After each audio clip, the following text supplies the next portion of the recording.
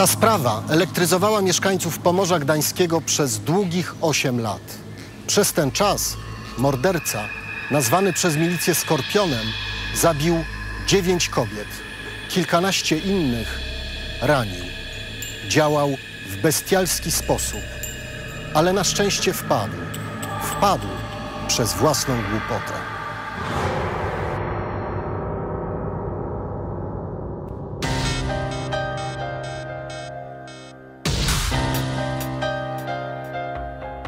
Na terenie Gdańska było kilka przypadków usiłowań zabójstw.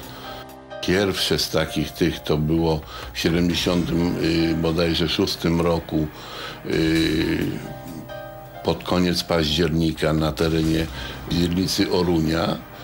Dosłownie 300-400 metrów od, od komisariatu.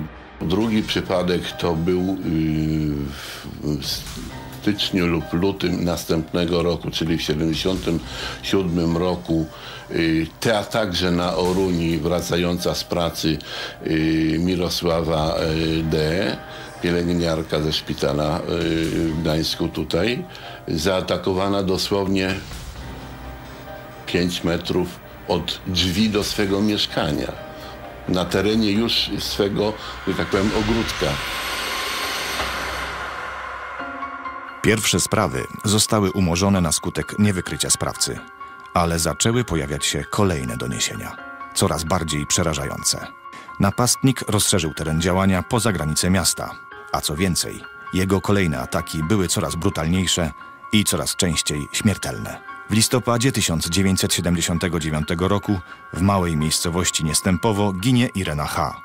W lutym 1980 w okolicach Zakończyna milicja znajduje zwłoki Anastazji E., a w kwietniu w Skowarczu Alicji M. Wrzesień 1980 roku Lubiki. Cecylia G. wracała wieczorem do domu. Droga wiodła przez las. Zamyślona, nie zauważyła mężczyzny, który śledził ją już od przystanku PKS, kryjąc się między drzewami. Zaatakował znienacka, uderzając kilka razy młotkiem w głowę.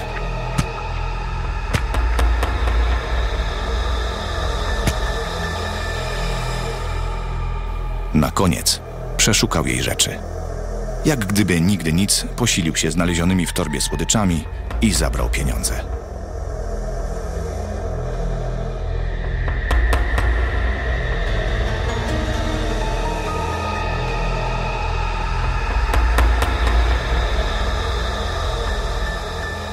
Milicja znalazła przy zwłokach niedojedzone herbatniki. Wiadomo było, że, że e, grasuje w naszym regionie człowiek, który, e, który e, morduje kobiety, który atakuje, bije e, e, i, i, i skutek jest no, opłakany, tragiczny. Takich przypadków ataków na kobiety było coraz więcej. Póki co jednak nikt nie przypuszczał wtedy, że to działanie nowego seryjnego mordercy. A przecież pojawiają się oni w historii kryminalistyki regularnie. Jeżeli popatrzymy na historię zabójstw seryjnych w Polsce, to się okazuje, że co kilka lat, jeżeli dobrze działają i funkcjonują organy ścigania, udaje się pewne sprawy połączyć na podstawie modus operandi. No te sprawy nie ulega wątpliwości, że łączył e, skutek. Skutek, czyli śmierć albo ciężkie uszkodzenia ciała, ciężkie pobicia. Atak e, sprawcy tylko i wyłącznie e, na głowę. Zawsze e, roznegliżowane zwłoki bądź obnażona ta, która przeżyła. A w naszym środowisku, w środowisku milicjantów wówczas, to było takie nieoficjalne gadanie, że to musi być jeden. To musi być jeden.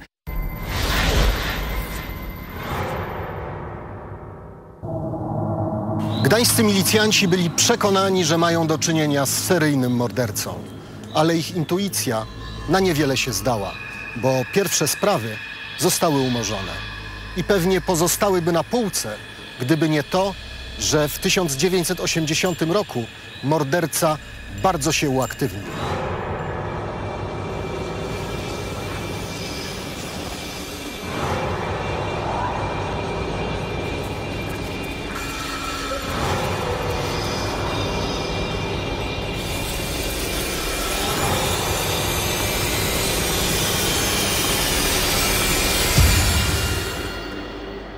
79 roku mamy tak, w listopadzie jedno, jedno zdarzenie, w lutym 82, w maju 83 następne, w listopadzie yy, następne, w grudniu następne, więc, więc yy, ta eskalacja tych zdarzeń jest, jest ogromna.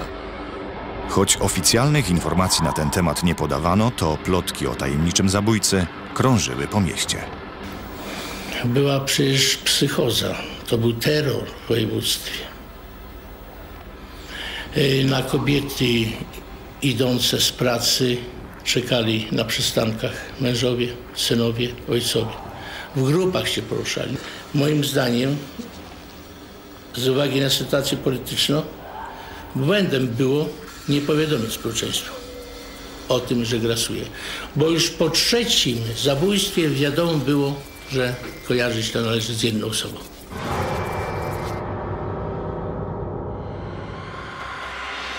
Trzeba było jak najszybciej wykryć i aresztować mordercę, który bezkarnie grasował już ósmy rok. To było priorytetowe zadanie dla gdańskiej milicji. Na początku stycznia 1983 roku komendant wojewódzki powołał więc specjalną grupę operacyjno-śledczą do rozwiązania tej sprawy.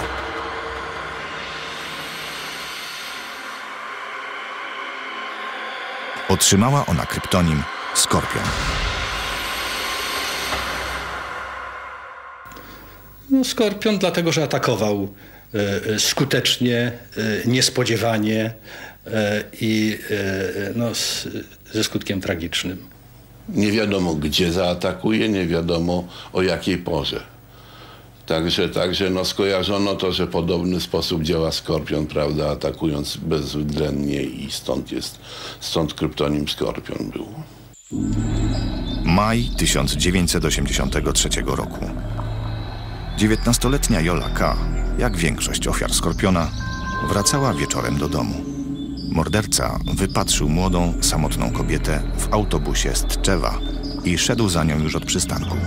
Wreszcie zrównał się z dziewczyną i zapytał, jak zwykle to czynił, czy nie ma ochoty na pieszczoty. Oburzona, żachnęła się i zaczęła uciekać. Skorpion nie próbował jej gonić. Zaatakował ją dopiero kilkaset metrów dalej. Upadła już po pierwszym ciosie młotkiem. Bezwładne ciało dziewczyny napastnik przeciągnął na łąkę i zaczął rozbierać.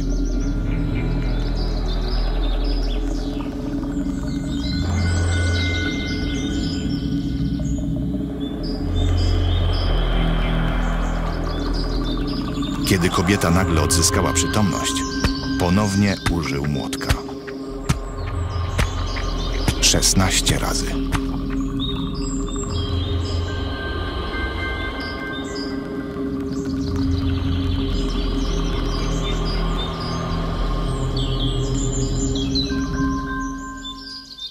Właściwie tego grudnia 82 do maja 83 było, było raz, dwa, dwa przypadki zabójstw i chyba trzy czy cztery e, przypadki usiłowań zabójstw.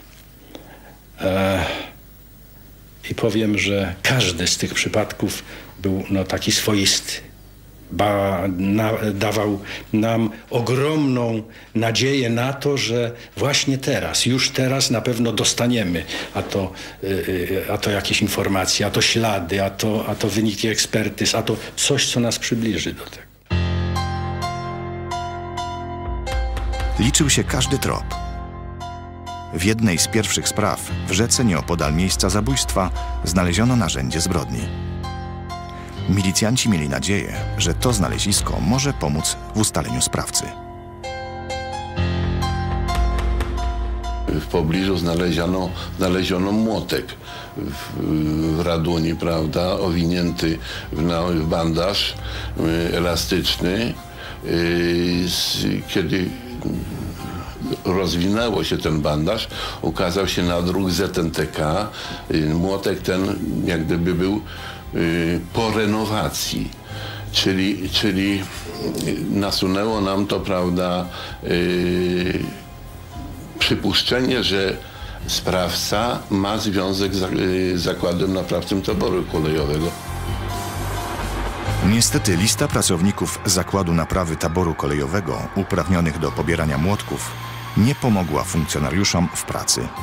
Jak się później okazało, brakowało na niej nazwiska niedawno zatrudnionego pracownika. Otrzymaliśmy do pomocy na każde nasze żądanie do dyspozycji yy, pracowników yy, da, dawnego ZOMO. Szeroko zakrojone działania, yy, penetracja terenu, yy, patrole, zwłaszcza jeśli chodzi o te pociągi wieczorowo-nocne jadące z Kościerzyny do Starogadu, yy, do Tczewa. Tam na prawie w każdym pociągu jechał po cywilnemu bądź umundurowany patrol.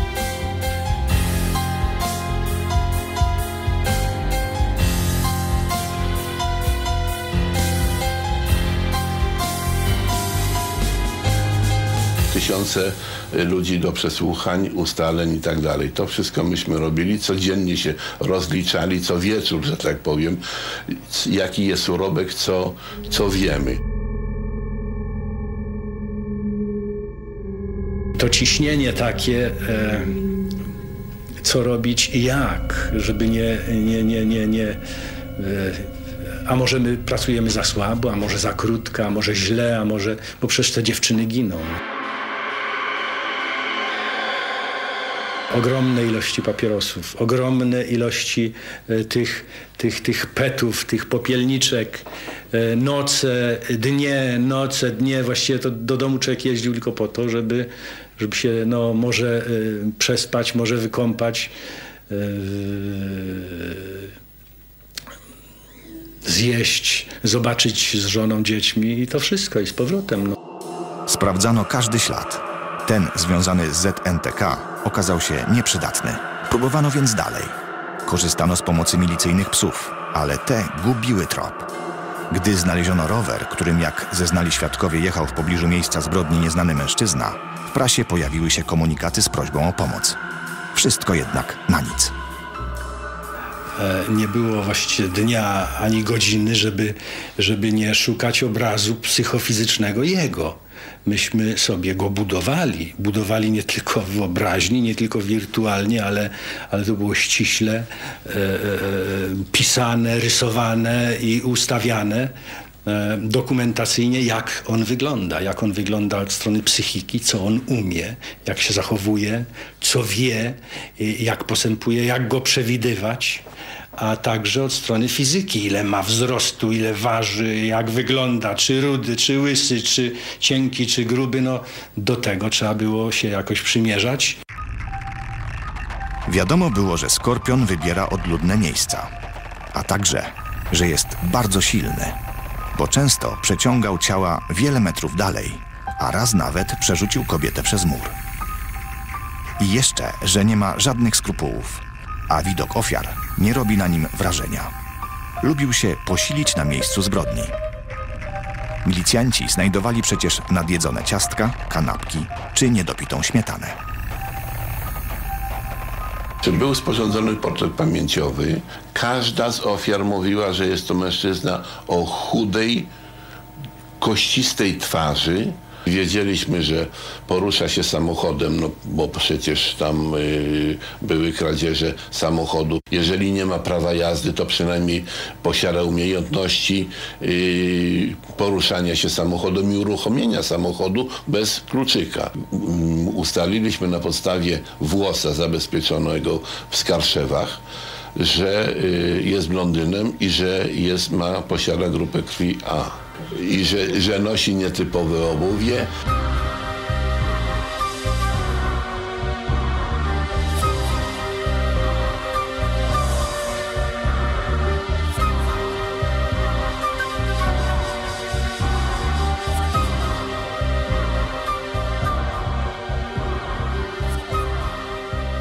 On nie wpadł e, na podstawie jakiejś jednej informacji, on nie wpadł, że go gdzieś tam ktoś za kołnierz przyprowadził.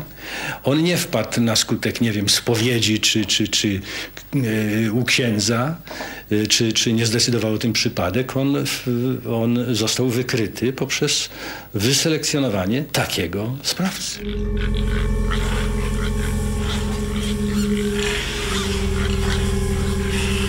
W każdej selekcji potrzebny jest jednak łód szczęścia. Tu także w końcu pomógł przypadek, a główną rolę odegrały zwierzęta.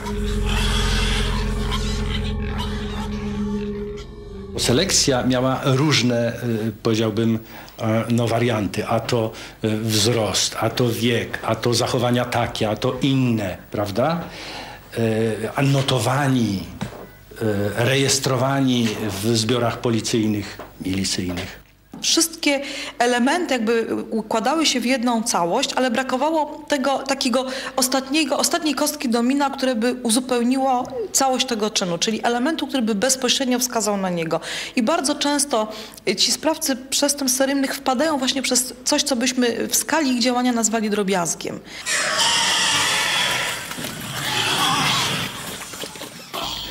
No i przyznaję, że dzisiaj na jakiejś tam chyba 77 pozycji jednej z list e, taki oto człowiek e, skojarzony z, e, z mm, informacją zarejestrowaną u nas.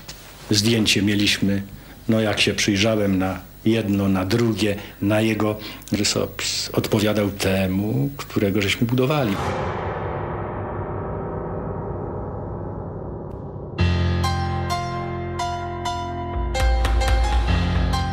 Do ostatecznego rozwikłania tej sprawy przyczyniło się pewne wydarzenie z wiosny 1983 roku na trasie Lubichowo-Starogard. Wiesława G., idąca na przystanek PKS około godziny 5 rano, została potrącona przez samochód marki Żuk, a potem napadnięta i okradziona. Nie był to pierwszy taki wypadek drogowy w okolicy, połączony z brutalnym napadem na kobietę, a sposób działania sprawcy jednoznacznie wskazywał na kolejne działanie Skorpiona.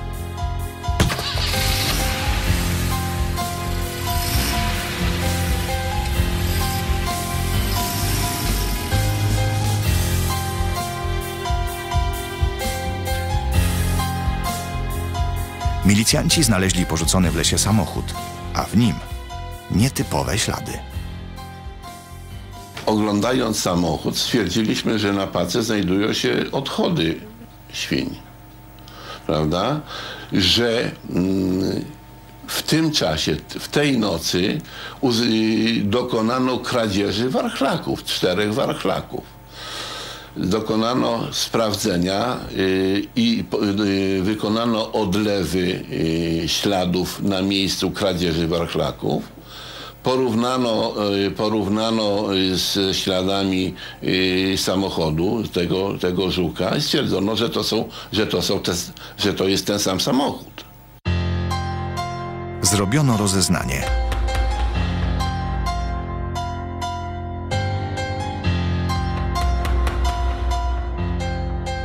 W okolicznych wsiach ludzie mogli wiedzieć o sobie wiele. Także to, że ktoś wzbogacił się o kilka warchlaków.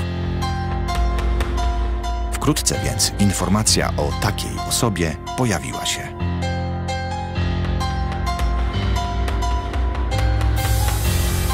To nazwisko zostało skonfrontowane z naszymi zbiorami. Okazało się, że pasuje. Zawołałem e, e, do swojego e, gabinetu jeszcze kolegę takiego, no bo rozpierała mnie ta, ta niesamowita radość. I ja nie miałem wątpliwości, ale mówię Waldek, przyjedź. Jak popatrzyliśmy w kartę, jak sobie wszystko uprzytomnił, jaka zwiedza o nim. E, nie mieliśmy wątpliwości. Piszczeliśmy prawie z radości we dwóch, że, że to jest to. Mówi Staszek, to jest to. Ustaliliśmy, że facet w przeszłości mieszkał na terenie Gdańska, że y, prowadzi aktualnie y, tam gospodarstwo po rodzicach, ale ma zakład, y, który zajmuje się wykonywaniem instalacji y, elektrycznej w nowo budowanych domach, a więc możliwość poruszania się tamtym rejonie bez żadnych podejrzeń.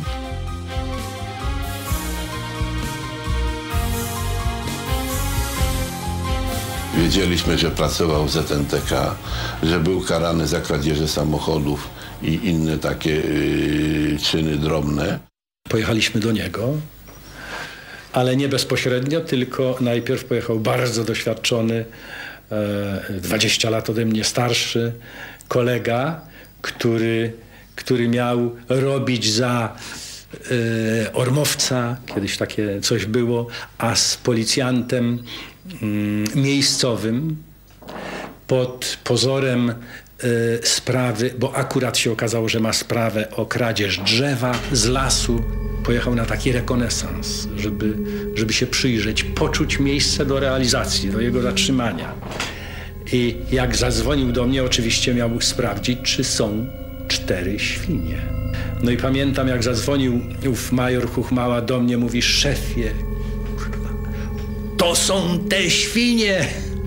On ma te cztery świnie w oddzielnym końcu.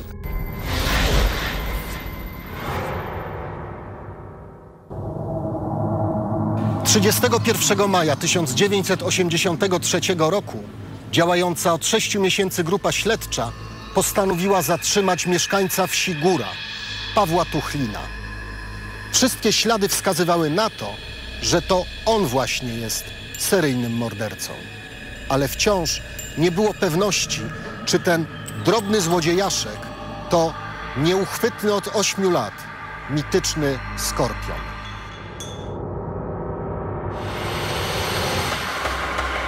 Bywało, że jechaliśmy na 70% po sprawce, na 50% po sprawce, na no 68% po sprawce, ale tutaj jak, jak, jak powiedziałem, że no mamy, ja wiedziałem, że jest to stuprocentowy sprawca, ale powiedziałem, cuda się zdarzają. 98, pra- 100% wiedziałem dopiero wówczas, jak z e, kolegą Andrzejem Gawrysiem po raz pierwszy już go zatrzymano i jak e, słuchaliśmy go i on w dowodzie osobistym pokazał, że ma grupę krwi taką, która mm, odpowiadała zabezpieczonym wcześniej śladom, śladom biologicznym. Gdyby się okazało, że to nie jest ta grupa krwi, byłaby to, y, no mnie by się chyba świat zawalił.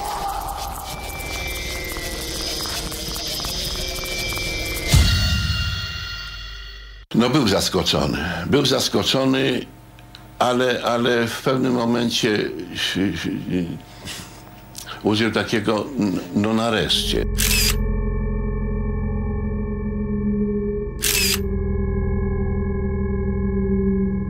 Kiedy już przyszli po niego funkcjonariusze, to on wiedział. Bo zatrzymali go pod pretekstem drobnych kradzieży. To on wiedział, bo pożegnał się z synem, z żoną i już poszedł. Do następnego dnia już zaczęliśmy go słuchać. Paweł Tuchlin mieszkał w niewielkiej miejscowości o nazwie Góra. Przeprowadził się tam z Gdańska, żeby przejąć gospodarstwo rolne po rodzicach. Uchodził za wzorowego męża i ojca. Dla rodziny i sąsiadów jego aresztowanie musiało być dużym zaskoczeniem. W jego domu i w jego samochodzie zostały znalezione przedmioty należące do ofiar. Czy obrączka Ewy B., czy zegarek, prawda, czy młotek ze śladami krwi z ostatniego zabójstwa, czyli z Narkow, y, tam za Trzczewem, y, też młodej dziewczyny. Y, ze, ze śladami krwi, prawda, między styliskiem a, a, a y, rączką młotka.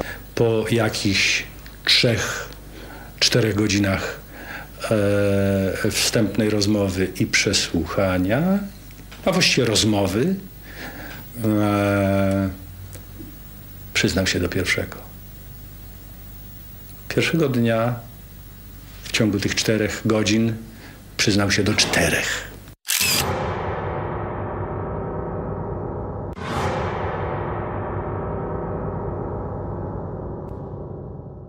Yy, osobiście Poświęciłem mu 36 godzin, przesłuchując go dokładnie na 20 zarzutów przeciwko zdrowiu i życiu.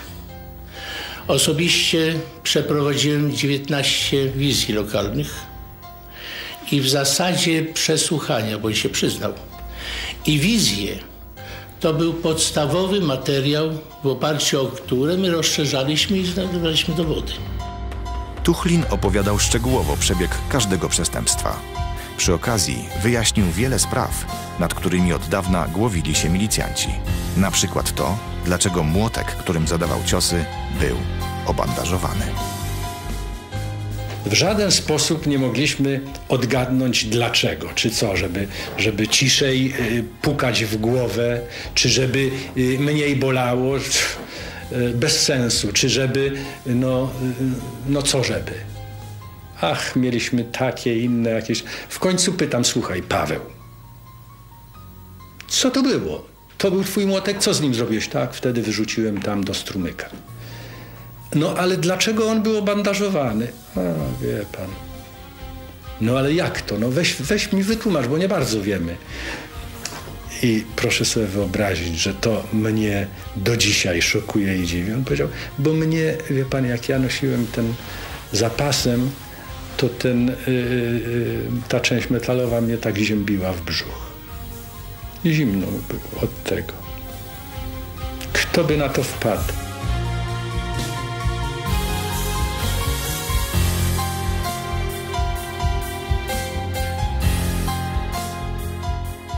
Paweł Tuchlin dobierał sobie ofiary również pod kątem fizyczności, czyli nie wybierał ofiar wśród osób, którym wiedział, że nie będzie w stanie sprostać fizycznie.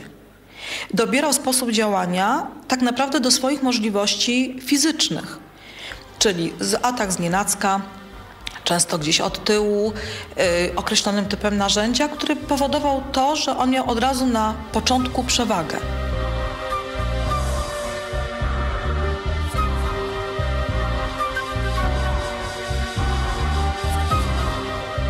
On dokonywał wyboru, już wybierał ofiary przyszłe w środkach publicznej lokomocji albo w pociągu.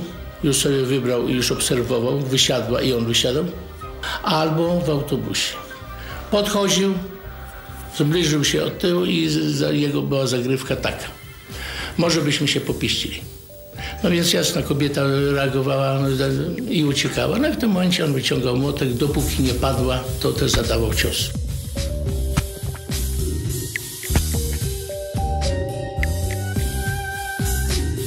Przede wszystkim działał z pobudek zaspokojenia popędu płciowego, a przy okazji krat.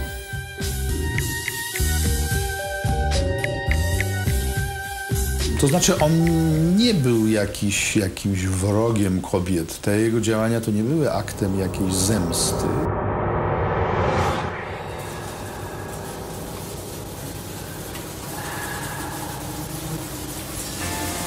w zasadzie to jemu chodziło o wymuszenie uległości kobiety. Z tym, że y, zdawał sobie sprawę, że przy takiej ilości ciosów, jakie zadał w głowę młotkiem y, ważącym półtora kilograma, y, w niektórych przypadkach to tam było 8-10 uderzeń w głowę, no to to powoduje, że ta osoba umrze.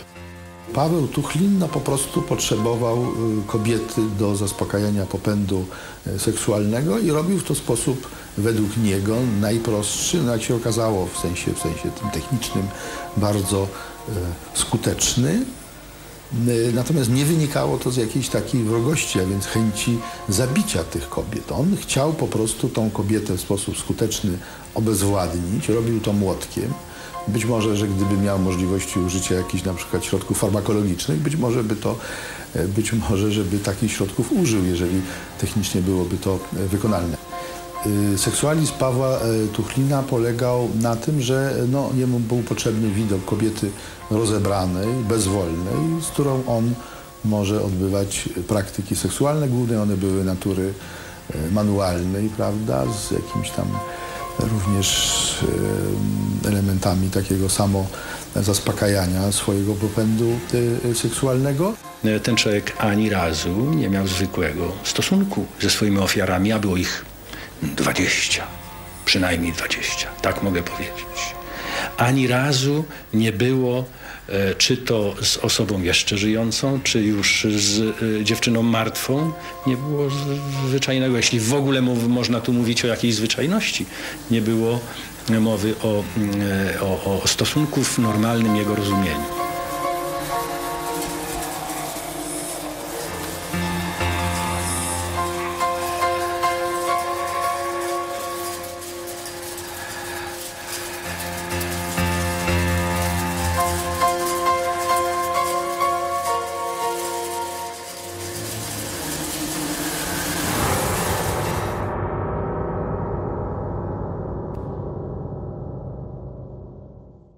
Miał jakiś dziki, zwierzęcy instynkt, który mu pozwalał unikać niebezpieczeństwa, jakie mu groziło.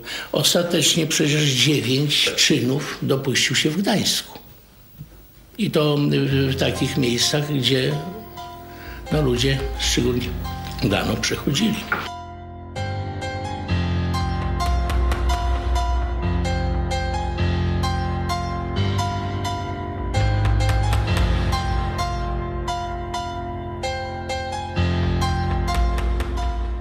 Przyznał się do wszystkiego z rozbrajającą szczerością. Wszystko wyjaśnił. Potwierdził to podczas wizji w 19 przypadkach. A był tak precyzyjny, że on prostował pewne fakty. Na przykład powiedział tak, ale wówczas, kiedy ja tu byłem, to tu stał budynek gospodarczy ogrodzony płotem. My byliśmy, to nie było tego. Okazało się, że jak on działał, to był. Czyli to już były takie fakty, o których on tylko mógł wiedzieć. No w czasie wizyty to y, zauważyliśmy, że pan Tuchlin był bardzo podniecony. No więc pytam go, ja mówię, panie Pawle, a co pan taki dzisiaj? Panie prokuratorze, zmieni pan pozorątkę, bo ona mnie nie bierze. A na, na, jaką, na jaką pracę? Oto blondynkę. Blondynka to była aplikantka. On tak się zachowywał, jakby nie wiedział, do czego on się przyznaje i jakie ma zarzuty. No, tylko yy, patrzył na te psy. I co on sobie myślał? To on powiedział że gdyby nie te psy, to on by nas wszystkich tam no, nie dogonilibyśmy. Zapomniał o tym, że temery funkcjonują jeszcze z bronią i byliśmy przygotowani na wszystko.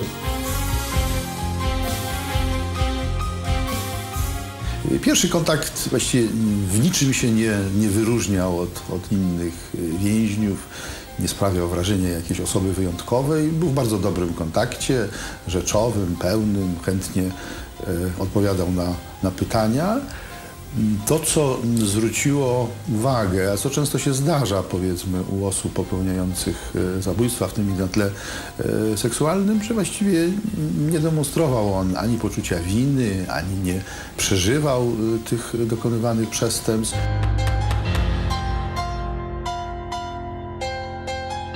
To był e, e, z pewnością, z mojego punktu widzenia, człowiek z ogromnymi kompleksami. Kompleksami natury, natury powiedziałbym takiej czysto mm,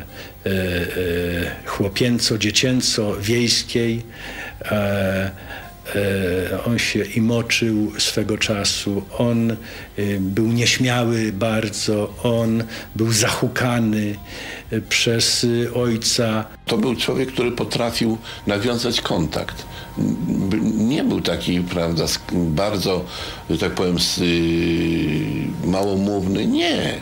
On na wszystkie inne tematy chętnie rozmawiał. Sprawiał wrażenie takiego człowieka, no, no, no takiego yy, dającego się, dającego się, się lubić. I w momencie, powiedzmy, kończenia, kończenia wizji lokalnej, no to, to, to on stwierdził, no szkoda, że, że to tak krótko trwało, bo tak mi dobrze było z wami i, i ja się prawie tu zaprzyjaźniłem.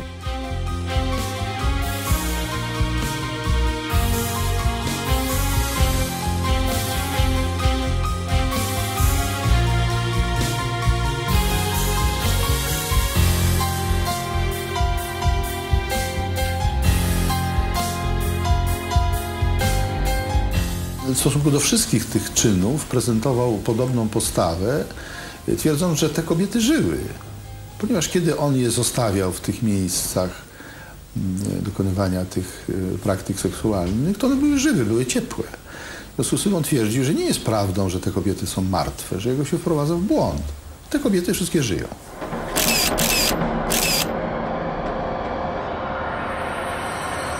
Osiem lat grasował. Postępowanie było przeprowadzone stosunkowo szybko, bo rok i dziewięć miesięcy.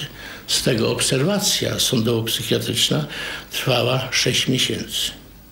Obserwacja była no, dlatego wyjątkowa i dlatego długa, że przestępstwo i przestępca był y, wyjątkowy. Chodziło nam o to, żeby wydać opinię taką, żeby sąd i kolejne ewentualnie sądy, które będą rozpatrywać tą sprawę, no, nie miały już żadnych y, wątpliwości. E, Juliusz e, Leszczyński, e, adwokat w takiej swojej monografii na temat przestępców, tych właśnie wielokrotnych zabójców, napisał, że była to najobszerniejsza opinia sądowo-psychiatryczna, jaka została wydana po 1945 roku.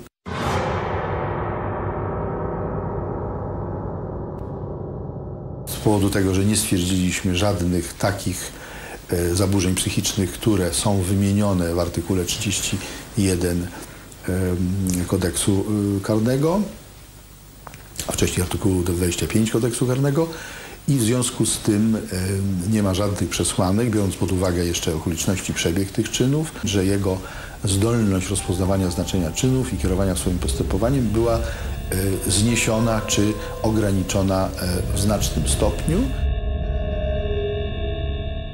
30 marca 1985 roku do Sądu Wojewódzkiego w Gdańsku został skierowany akt oskarżenia przeciwko Pawłowi Tuchlinowi. Miał 41 zarzutów, z tego 11 usiłowań zabójstwa i 9 zabójstw. Pozostałe to były drobne kradzieże, bo to był taki złodziej powiatowy. Co mu się nawinęło, to krat. On był taki beztroski, że już po przyznaniu skierował do mnie pismo, że żniwa, a on ma trzy hektary zasiane zbożem. I żeby się nie wygłupiać, tylko niech on to zboże zbierze. Czasami to był tak infantylny, że to rozbrajało. Ale z drugiej strony wyjątkowo inteligentny i naprawdę, naprawdę bardzo niebezpieczny przestępca. I mówi, że dobrze się, że dobrze się stało, że, że go y, zatrzymano, bo mówi, w dalszym ciągu bym działał, mówi, to był silniejszy ode mnie. Ale mówi, zdaję sobie sprawę, że, że czeka mnie wyrok jeden, jedyny, kara śmierci.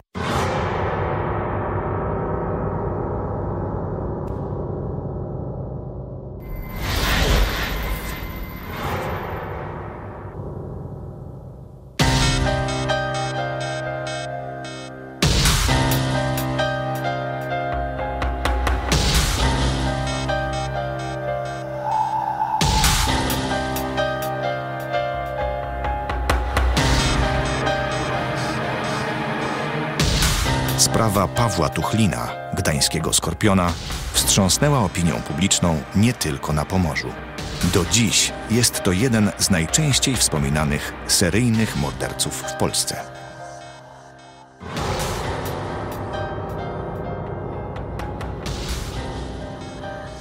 Tuchlin na w gruncie rzeczy urósł chyba na takiego powojennego po Marchwickim największego polskiego y, seryjnego zabójcę.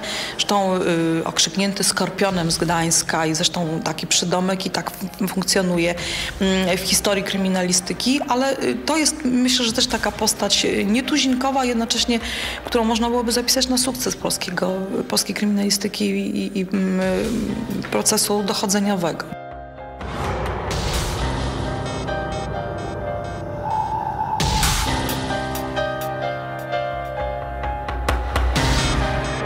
Że taka sprawa rzeczywiście trafia się y, policjantowi, który marzy o jakiejś karierze, może się trafić, a może na 20 życiorysów w ogóle nie trafić, prawda? Jest też taką postacią bardzo specyficzną, bardzo charakterystyczną dla historii kryminalistyki dla prowadzonych postępowań, bo to jest człowiek, który tak, co do którego przynajmniej tutaj, jeśli chodzi o postępowanie karne, nie było wątpliwości, że te czyny, które mu zostały przypisane, udowodnione aktem oskarżenia, on popełnił.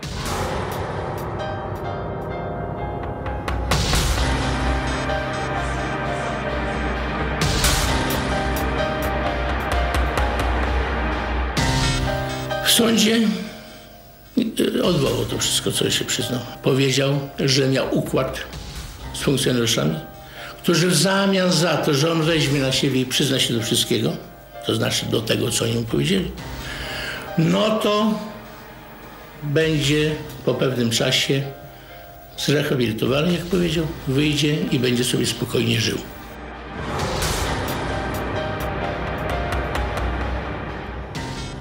Przed sądem Paweł Tuchlin bronił się jak mógł. Nie tylko odwołał swoje wszystkie wcześniejsze zeznania, ale także zaczął zachowywać się tak, jakby zupełnie nie zdawał sobie sprawy z popełnionych zbrodni. Ale ta linia obrony na niewiele się zdała. 5 sierpnia 1985 roku Sąd Wojewódzki w Gdańsku uznał, że Tuchlin jest winien wszystkich 41 zarzucanych mu czynów. Tym było 9 morderstw. Wyrok mógł być tylko jeden. Kara śmierci. Paweł Tuchlin przyjął go z kamienną twarzą.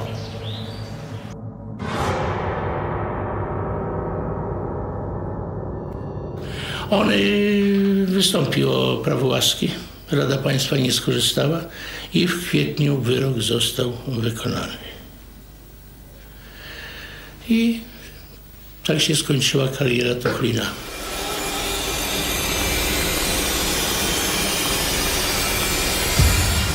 Tam był taki moment y, w czasie tych badań, kiedy ja go się zapytałem, że gdyby, no, panie Pawle, no, gdyby sąd faktycznie pana uwolnił z winy, bo pan mówi, że pan nie jest winny, no i gdyby sąd to przyjął, przyjął, że pan nie jest winny, że te kobiety żyją i że nie ma właściwie sprawy.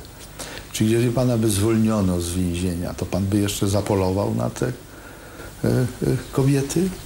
Mhm, tak, zapolowałby.